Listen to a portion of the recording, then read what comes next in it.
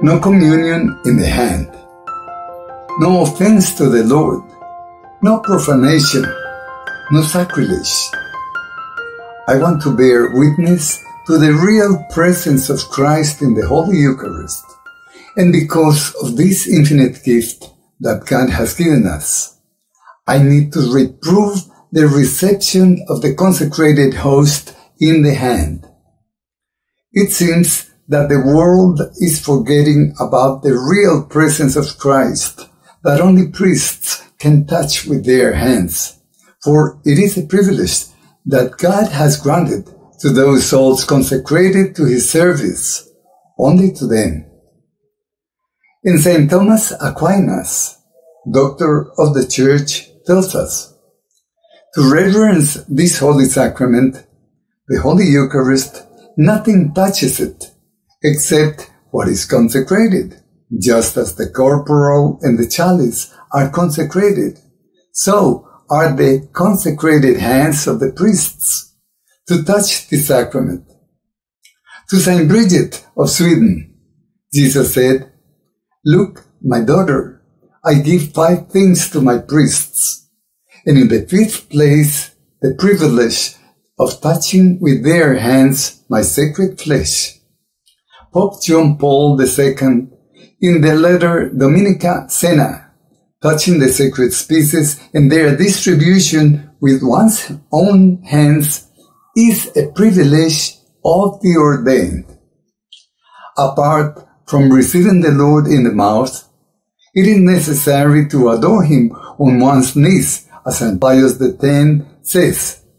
When receiving Holy Communion, it is necessary to be on one's knees, to have one's head slightly bowed, the eyes modestly turned towards the sacred host, the mouth sufficiently opened, and the tongue slightly out of the mouth, resting on the lower lip.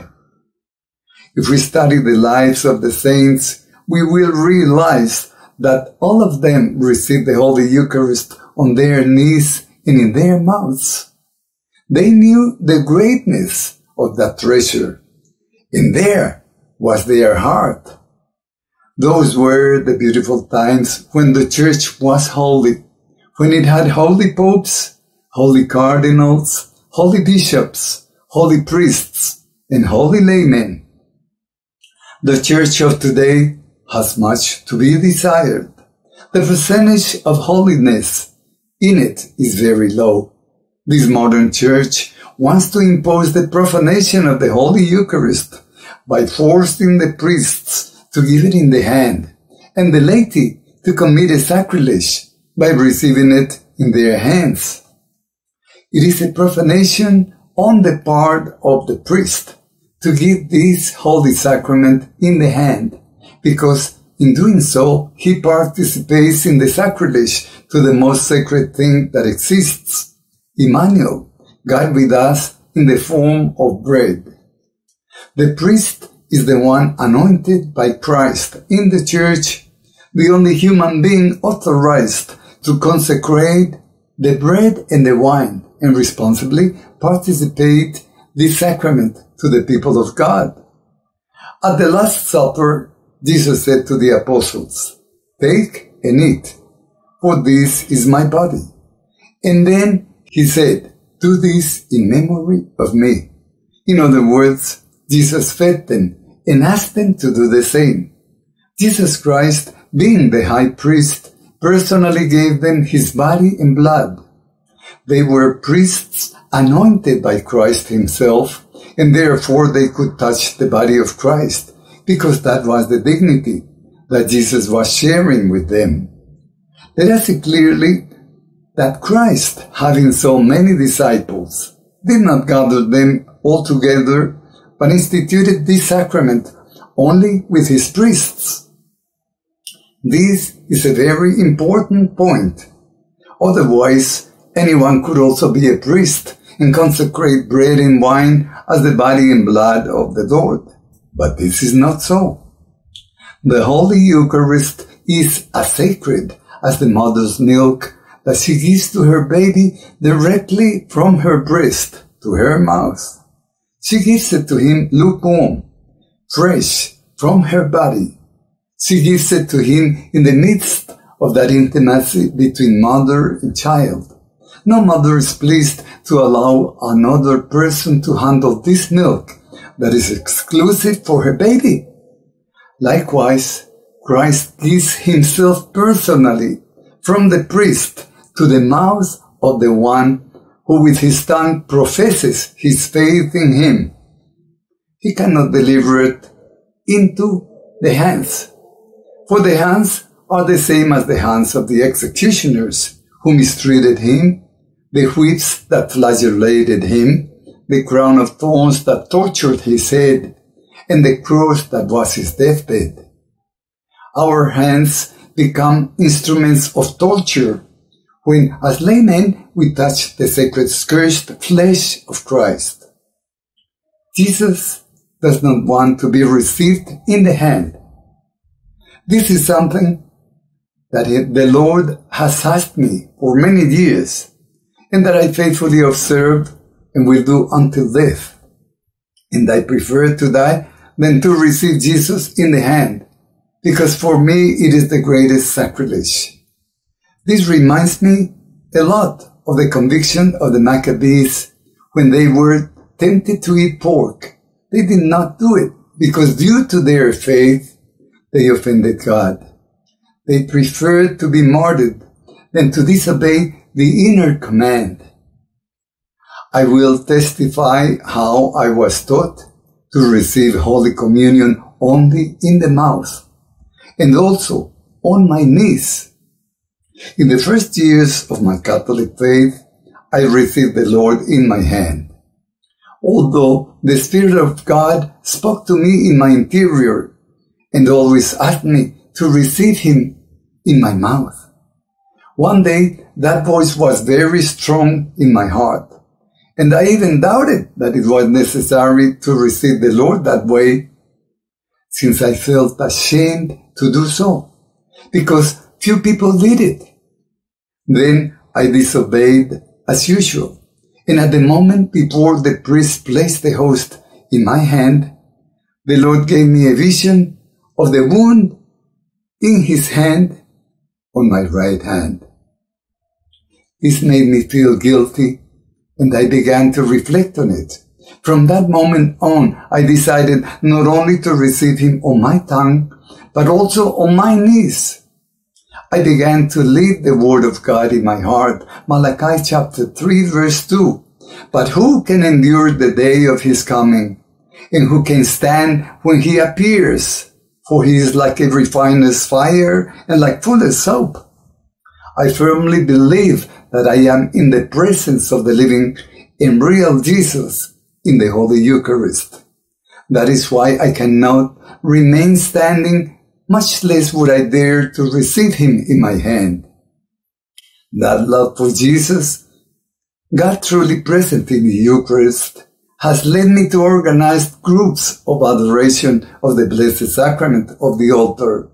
You can adore with me by watching videos of adoration on my channel, The Work of God. St. Paul teaches us that at the name of Jesus, every knee should bend in heaven and on earth and under the earth, and every tongue should confess that Jesus Christ is Lord to the glory of God the Father. Philippians 2 verses 10 to 11. Let's look then how before the Holy Eucharist we are not only before the name of Jesus, but before the real presence of the Lord. It is truly God, Emmanuel, God, whom we are. For all that I have said before, we are now in the new post-pandemic church, which opens its doors to invite the faithful to profane the Holy Eucharist by receiving it in their hands. Here, the most sacred thing we have is exposed to the sacrilege approved by the ecclesiastical hierarchy. Do you believe, brothers and sisters, that I am going to participate in this? No, I will not. I cannot obey the governments of the world who have imposed this burden on the church, nor can I be forced by the church to commit this sin. I do not feel comfortable accepting new instructions that take me away from the true faith. Dear brother priest, do you want to be faithful to Christ or to men? Do you want the church to be open and in return you give the Eucharist in the hand? Do you want to obey your superiors more than obey God? Dear brother priests, meditate on this word of Jesus, Matthew chapter 7, verse 6. Do not give what is holy to dogs, and do not throw your pearls before swine, or they will trample them underfoot and turn and mold you. The holiest thing that exists, Christ himself, cannot be despised, being given in the hand. What is desecration? What is sacrilege?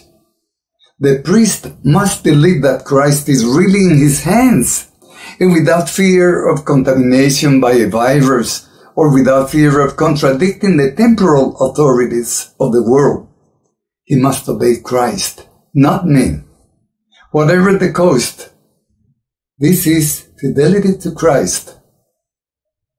Dear lay brother or sister, do you believe that Jesus is alive in the Holy Eucharist?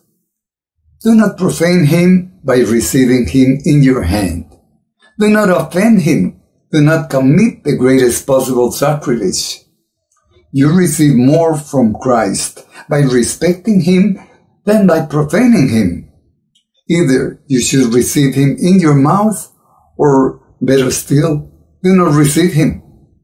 If in your life you have received Jesus already in the Holy Eucharist, remember that only one drop of his blood is enough to obtain your salvation and that of all humanity. Do not trample on the blood of our Savior. If you always receive him in your hand, ask him for forgiveness and do not do it again. If you usually receive him in your mouth, do not go to receive him in your hand. It is a sin. Do not profane the body of Christ. Do not be part of this global sacrilege. Remember the words of St. Paul in the first of Corinthians chapter 11 verse 29. For he who without discernment eats and drinks the body and blood of the Lord, eats and drinks his own condemnation. In the description of this video, I leave you a link to a translation of a document that reveals the promises of Jesus to all those who receive him in their mouths and not in their hands. This message was given to Catalina Rivas, stigmatized seer in the Book of the Passion, with imprimatur from Monsignor Rene Fernandez, Archbishop of Cochabamba, Bolivia. The church that forces the faithful to receive Holy Communion in the hand is not the Church of Christ. Within it, we will find many priests faithful to Christ who will give us Holy Communion in the mouth, as it should be, also kneeling if we really believe in the presence of the Lord. God bless you. If you enjoyed this video, please give us a like Subscribe to our channel, The Work of God. Share this message and leave your comments. God bless you.